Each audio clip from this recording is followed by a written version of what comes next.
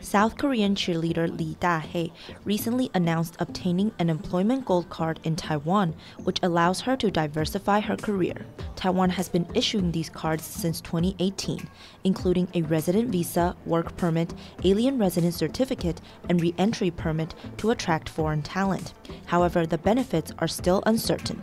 The National Development Council reported that as of August, 7,198 cards were valid, but only 3,352 holders, or 46.6%, remained in Taiwan. There is no basis or mechanism to prove that these people are living in Taiwan or contributing to our industry. Legislators are considering freezing the program's budget due to concerns over its effectiveness. Some suggest requiring foreign professionals to work in Taiwan for a minimum period or meet specific outcomes to maintain their cards. Tracy Chen, a human resources specialist, proposed establishing key performance indicators to ensure foreign talent significantly contributes to Taiwan's industries. When these foreigners gain the benefits of convenience that the gold cards bring, we, in turn, need to think about what they can do for us.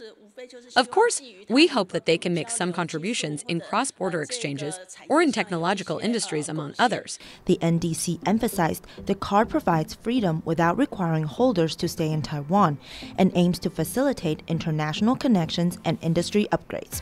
Experts suggest additional measures could enhance its overall efficacy. Francis Lan, Chen Ruhuan, Vivian Shao, TVBS World Taiwan.